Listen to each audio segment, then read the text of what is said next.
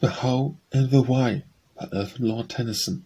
I am any man's suitor, if any will be my tutor. Some say with life's pleasures some think it speedeth fast, And time waits no present, and eternity no future, and eternity no past. We laugh, we cry, we are born, we die. Who will riddle me the how and the why? The bulrush nods unto its brother, the wheatears whisper to each other. What is it they say? What do they there? Why two and two make four? Why round is not square? Why the rocks stand still and the light clouds fly? Why the heavy oak groans and the wide willow sigh? Why deep is not high and high is not deep?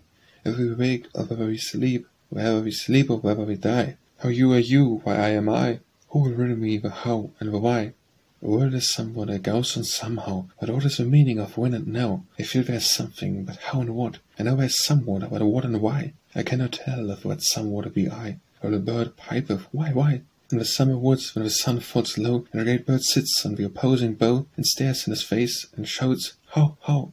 Now like owl sends down the mellow twilight, and chants how, how, the howl of the night. Where the life goes and the blood is spilled, what the life is, where the soul may lie, where churches with a steeple built, and a house with a chimney pot, who will riddle me the how and the what, who will riddle me the what and the why?